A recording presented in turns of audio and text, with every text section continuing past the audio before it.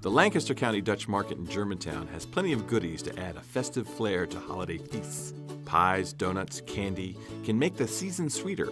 The market has hand rolled pretzels, fried chicken, a fully stocked butcher case, a restaurant, spices, salads of all kinds, milk, eggnog, and ice cream. The market also has chocolate covered bacon. Open since 1996, about 80 to 90 people work at the various vendors. Market manager Abner Esch says many, but not all the employees, come from Lancaster County, Pennsylvania.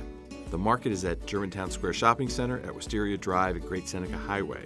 It's open Thursdays, Fridays, and Saturdays, and it'll be open on Tuesday from 10 to 6 for Thanksgiving.